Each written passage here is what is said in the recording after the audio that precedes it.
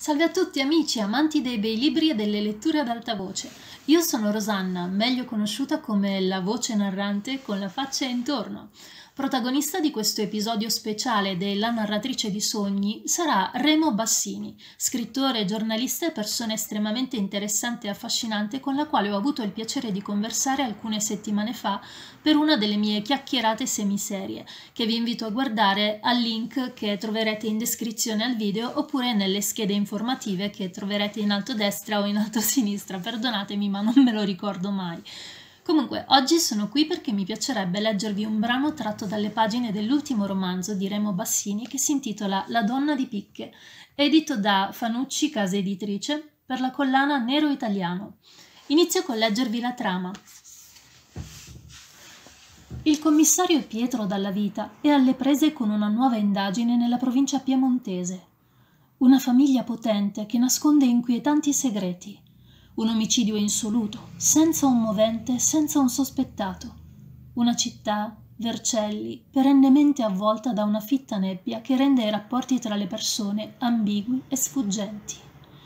E intorno luoghi misteriosi sui quali si tramandano leggende nere. È un'inchiesta delicata e dolorosa, quella che è chiamato a svolgere il commissario Dalla Vita, inviato dalla Omicidi di Torino in missione speciale a Vercelli.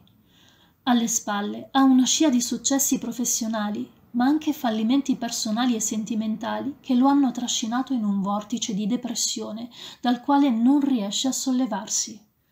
Insieme a lui, a far luce sull'efferato assassinio di un brillante avvocato, il fedele ispettore Domenico Tavoletti e due donne, una di cuori e una di picche.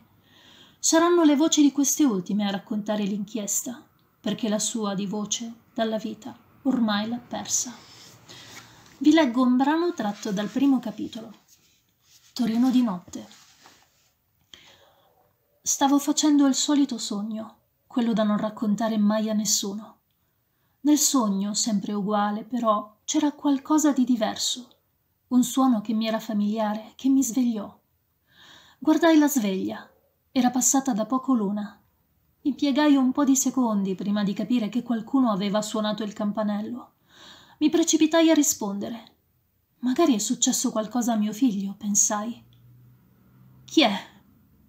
Sono Pietro, Pietro dalla vita. Posso salire?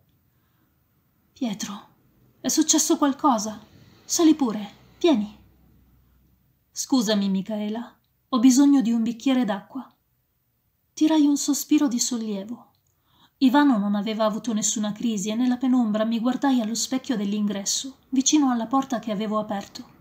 Stavo sorridendo. Certo che potevi salire.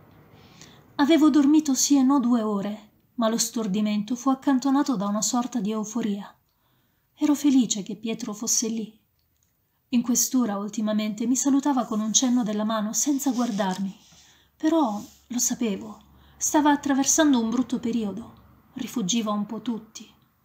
Pensai che non mi importava di farmi trovare con il pigiama perché le vestaglie non le ho mai sopportate.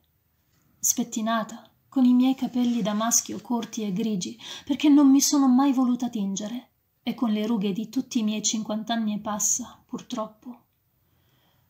Eri solo, e io ero contenta che tu avessi pensato a me. Magari avevi saputo che ero sola perché Ivano lavorava di notte il bicchiere d'acqua era di sicuro una scusa. Dalle scale però nessun rumore. Tu non lo sai, ma ti conosco bene. So come sei fatto. Decisi di andargli incontro e infatti lo trovai immobile, con la gamba destra irrigidita sul primo gradino e il mocassino blu sul secondo. Stavi pensando di andartene, lo so. Lo costrinsi a salire prendendolo per mano. Pietro dalla vita il fiore all'occhiello della questura di Torino, titolava un giornale solo un paio di anni prima. Non era più così. Da alcuni mesi, dalla vita, era solo un poliziotto stanco e tormentato, vicino alla pensione. In questura lo sapevano tutti che aveva rotto con la moglie e perso la testa per una criminologa, Maria Grazia Ribelli, che però lo aveva lasciato e aveva fatto ritorno negli Stati Uniti, dove aveva ripreso a collaborare con la polizia americana e così dalla vita era diventato un argomento mondano e piuttosto gettonato. Un giorno avevo sentito il vicequestore Antonino Scaglia che parlando al telefono con un giornalista diceva, senza curarsi di abbassare il tono della voce, Che vuoi? Succede a tanti. Il nostro dalla vita ha scoperto che al mondo non esiste solo la figa della moglie. Stai soffrendo per Maria Grazia Ribelli. Lo so, pensai mentre entravamo in casa, ma mi sbagliavo. C'erano altri macigni.